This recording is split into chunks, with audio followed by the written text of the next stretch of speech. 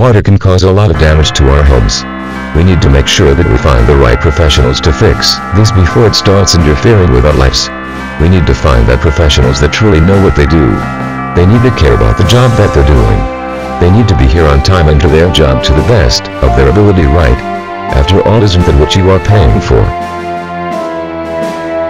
When looking for the right company to remove mold and fix any other damage that was done, make sure you look as for reviews that are only written by other customers like you. These are easy enough to find with all the review sites out there these days. The best review site that I can think of would have to be Angie's List. You know that you can trust these reviews because they are only written by customers just like you. They are also very easy to understand. It is also not a bad idea to ask around about water damage restoration places. The chances are that this has happened to at least one of your friends.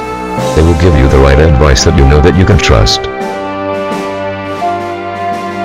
Remember that water damage restoration is expensive no matter who you go with. The important thing is that you get the job done right so that you do not have to spend extra money getting more guys into your home to fix it. It is not always about finding the company that will do it for the cheapest price. Sometimes it is more important to find that company that will just do the restoration right the first time.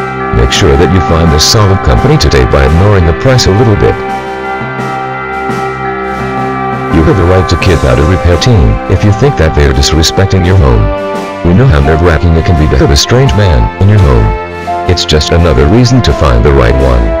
You should feel free to keep an eye on men that are working anywhere in your home. After all they are strange guests. Please make sure that you get your water damage restoration done the right way. It will help bring back the value of your home.